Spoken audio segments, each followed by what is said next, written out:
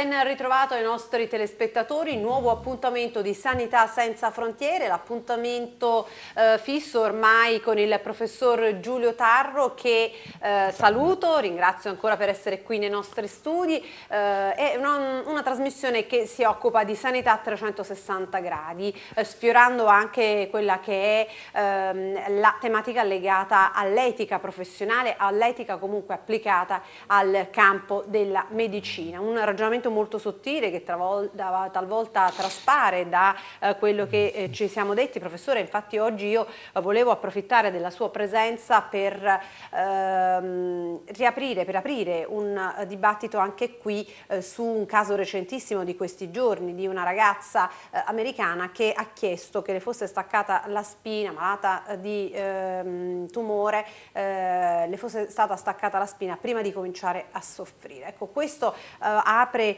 eh, un dibattito forte rispetto a eh, quello che mh, Ognuno di noi ha libertà individuali, dove arriva la libertà dell'individuo, dove invece eh, la necessità di dover eh, diciamo, assistere e curare a tutti i costi fino eh, alla fine. Lei che idea si è fatto rispetto a questo argomento proprio di questi giorni?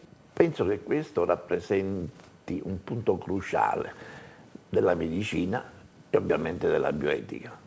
Noi in, nei nostri studi eh, sappiamo che la nostra missione è quella della vita, quindi il nostro obiettivo. Uh, L'uomo nella sua interezza, quindi ovviamente non come mezzo, ma come fine. Allora, metterci di fronte alla possibilità di staccare la spina diventa un fatto quasi controcorrente. Noi abbiamo diciamo, una unità di raziocinio e di coscienza e da qua, diciamo, da questo binomio, per così dire, abbiamo l'essere umano con tutte le sue qualità, con tutto il suo binomio di struttura e funzione. E allora mi viene difficile pensare alla possibilità che eh, noi come medici possiamo staccare la spina, in quanto per esempio... È un controsenso, sarebbe un controsenso. Sì, è, è come si dice, una contraddizione in terminis. Certo. E io per esempio, ovviamente, sono contro la pena di morte.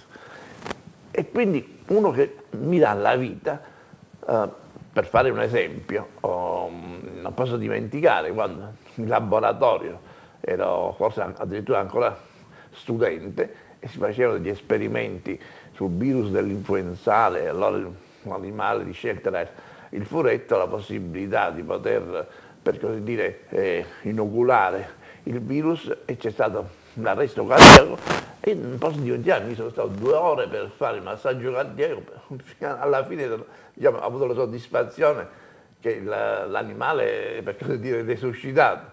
Allora, quando c'è questo rapporto, per così dire, con uh, l'animale quindi ovviamente con l'uomo, mi sembra molto difficile, per così dire, accettare un fatto del genere. Se noi lo trasferiamo, per esempio, oh, sulla possibilità di fare un trapianto, sappiamo che il donatore, perché sia tale, soprattutto quando sono organi ovviamente vitali, deve essere sicuramente um, esserci l'arresto non del cuore, che può battere per fatti suoi, ma quello importante è la lesione irreversibile del tronco encefalico. Quindi diciamo, noi dobbiamo essere ben, dire, eh, ben specifici, precisi su, questi, su, questo aspetto. Allora, quello è il punto che uno può essere donatore. Certo. A questo punto, allora,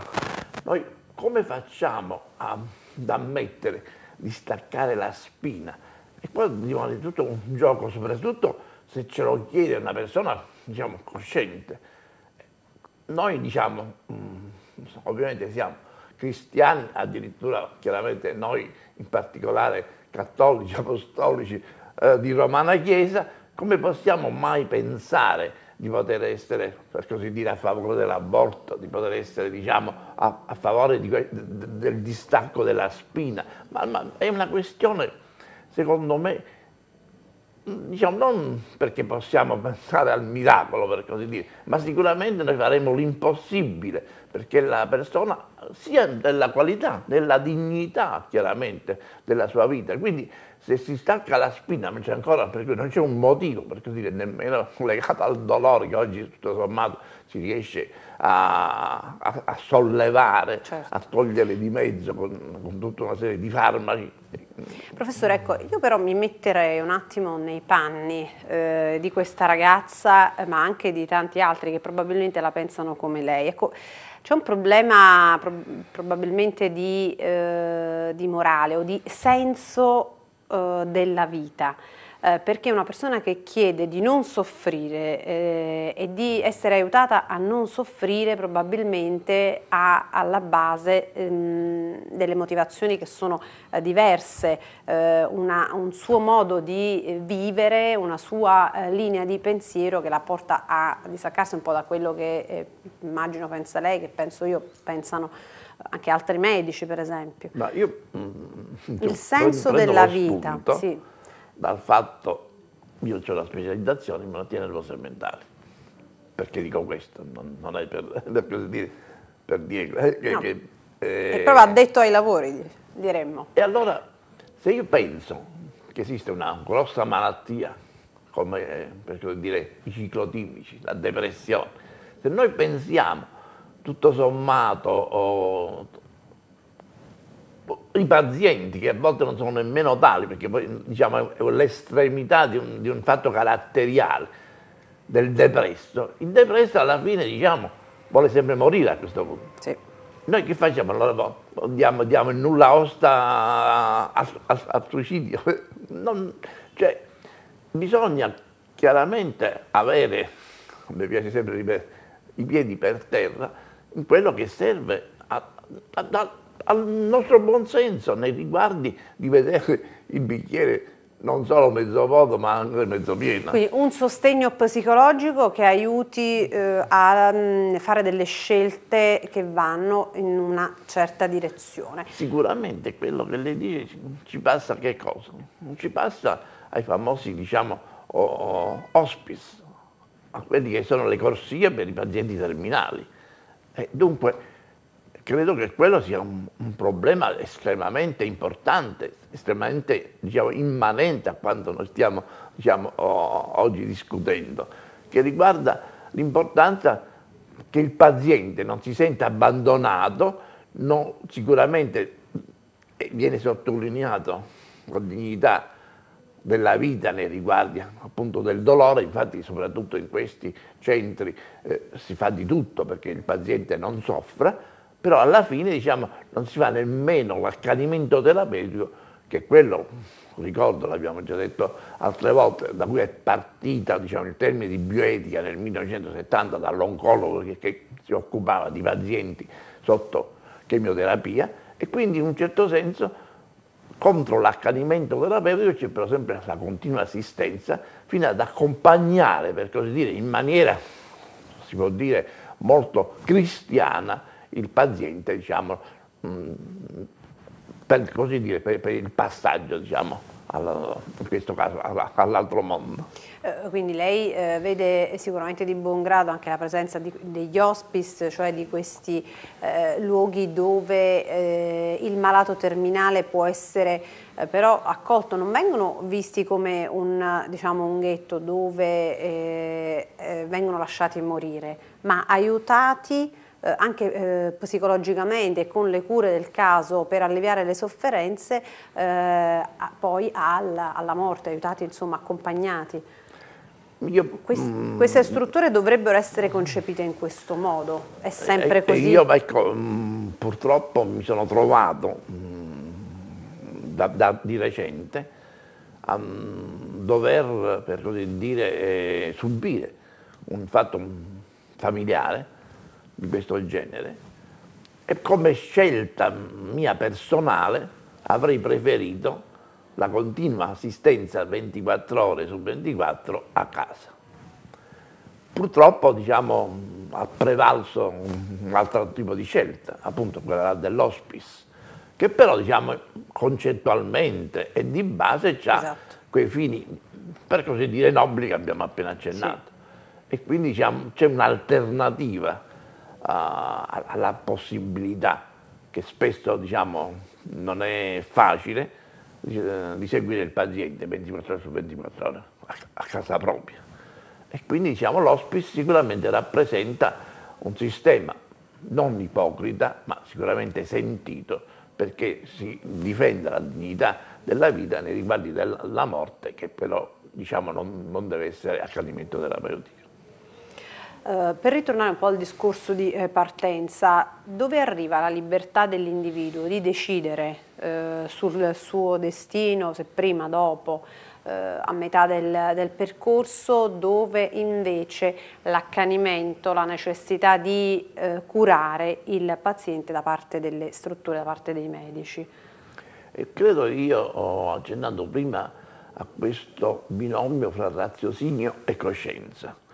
Certamente eh, il paziente non può avere, per così dire, eh, la coscienza di poter eh, desiderare la morte in ogni caso, abbiamo parlato, prima l'esempio del, del depresso, però c'è bisogno chiaramente del suo rapporto, in questo caso piena fiducia nell'assistenza, eh, in questo caso medica, quindi non parliamo di assistenza sanitaria, ma proprio medica nel, senso migliore del termine, nel senso del giuramento ippocratico che noi abbiamo fatto oh, quando ci siamo laureati, in cui diciamo, oh, il medico deve essere garante di fare il miglior trattamento che molte volte eh, certi dolori diciamo immani, eppure oggi noi sappiamo che possiamo intervenire, soprattutto con le anestesisti, sono quelli della terapia del dolore che riescono a fare miracoli in questo senso. Allora noi diciamo, dobbiamo essere in grado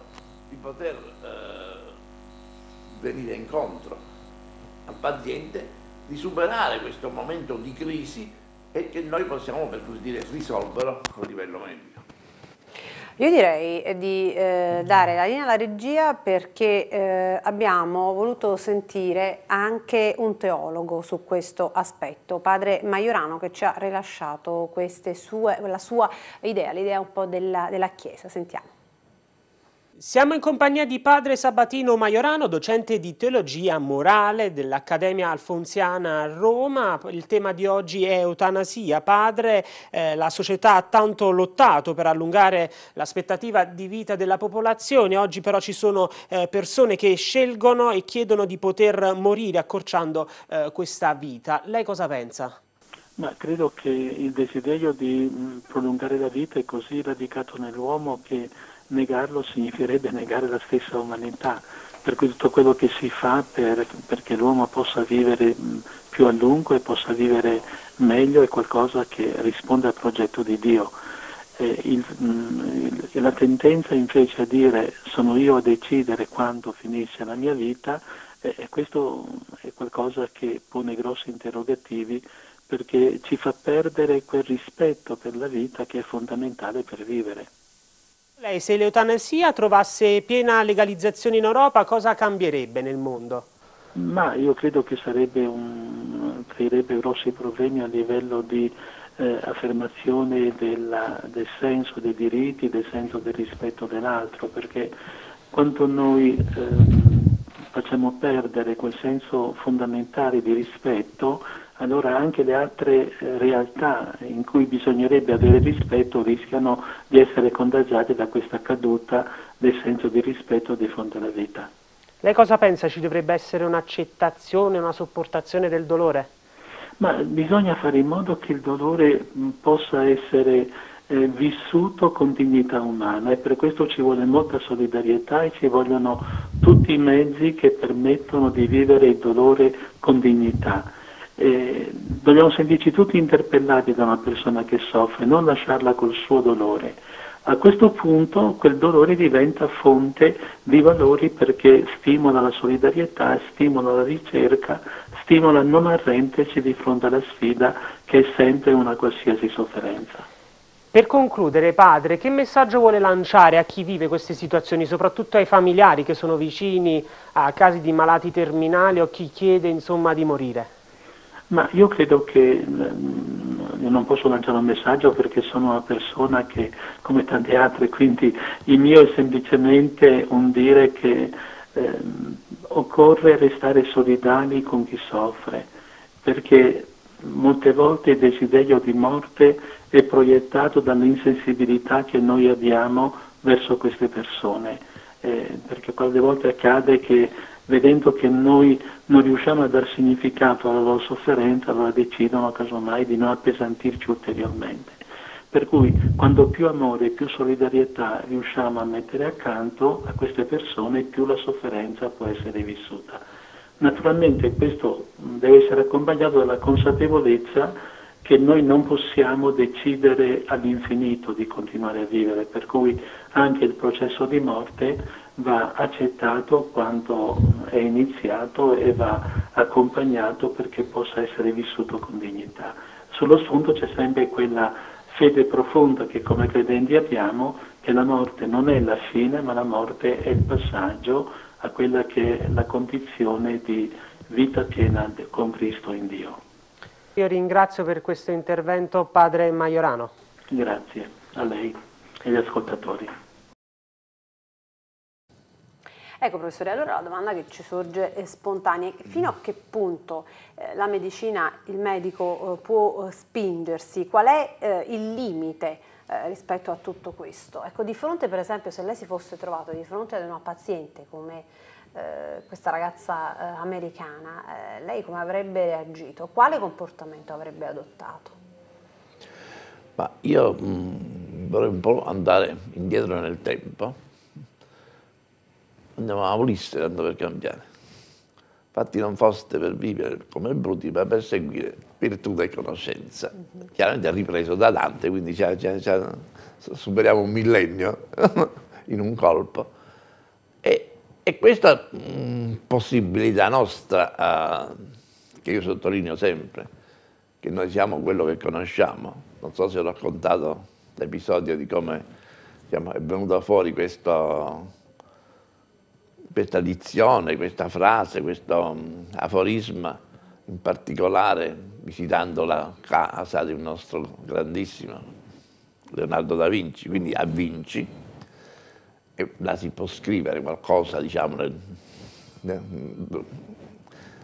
all'inizio o alla fine della visita, e quindi eh, io ero insieme a Carlton Guedusek, premio Nobel del 1977 se non sbaglio, insieme a Blomberg per uh, l'antigena australia e lui perché aveva scoperto il Kuru, una malattia diciamo particolare della Papuasia in cui c'è un rito speciale nei riguardi dei, dei morti in cui, eh, scusate, eh, diciamo, qual è il meccanismo in cui viene questa infezione da, da particelle più piccole eh, dei virus, quindi sono delle proteine per così dire replicantesi, che viene una malattia del sistema nervoso irreversibile che è uguale a quella che è un evento stocastico, un caso su un milione che può essere a Napoli o a Buenos Aires o, o a, a, Mosca e che si chiama Kuru. E quindi viene perché appunto oh, viene, per così dire, passato proprio oh, sistema nervoso direttamente dal morto, dal defunto, in genere più che altro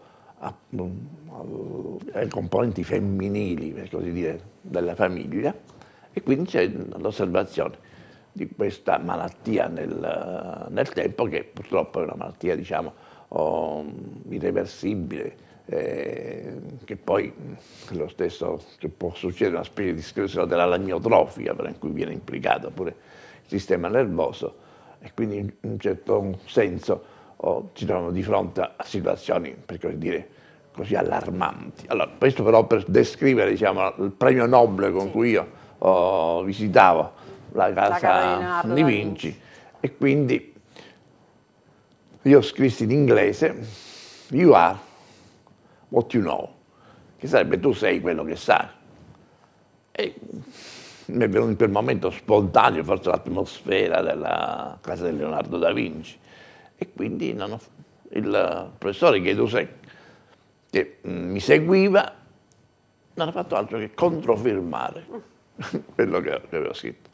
Allora, partendo da, da questi aspetti, diciamo, di conoscenza, e quindi partendo da, dagli aspetti che per noi, diciamo, la vita è un concetto intuitivo, Diciamo, noi sappiamo che nasce da questo binomio struttura-funzione, che ci sono tutta una serie, per così dire, eh, di elementi che, che, la caratterizzano, dal metabolismo all'accrescimento, all'eccitabilità, alla riproduzione, all'organizzazione, eh, per cui abbiamo detto prima di queste proteine replicantesi, poi però il passaggio veramente fra uh, vita animata e non animata sono i virus, dalla classica definizione del Luria, un altro nobile, Salvatore Luria, fra l'altro formatosi eh, prima eh, in Italia e poi ovviamente eh, ha preso il Nobel quando, per le sue ricerche negli Stati Uniti, qui ho avuto il piacere di consegnare pure il microscopio d'oro a Roma che è stato già dato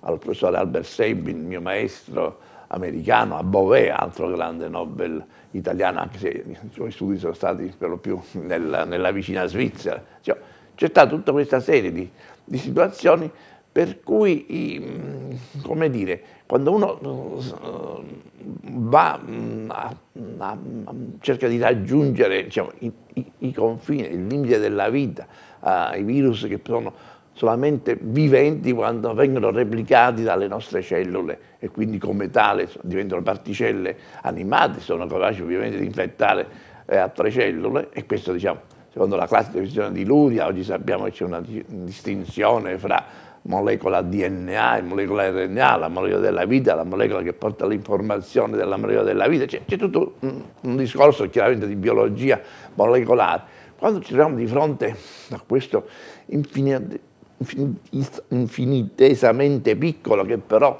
ci fa vedere la grandezza per così dire, del, del creato in, uh, suo, dire, in, questo suo ordine. E quindi per quelli che sono cattolici, apostolici, romani riescono a superare la, quello che, che, la concezione, per così dire, eh, del, dell'evoluzione dell'uomo con la possibilità anche di questo creazionismo, ebbene, in particolare è difficile diciamo, che noi siamo uh, tali da poter sentirci eh, diciamo, sull'Olimpo per decidere la vita di un'altra persona. Certo, questo è insomma arriviamo a questo. Io mh, mm, a quel punto eh, però le, le, le, chiedo di nuovo, lei cosa eh, direbbe a un paziente eh, in una situazione simile a quella che abbiamo descritto? Cioè se le venisse chiesto, professore io però vorrei staccare la spina eh, prima che eh, cominci un percorso di sofferenza.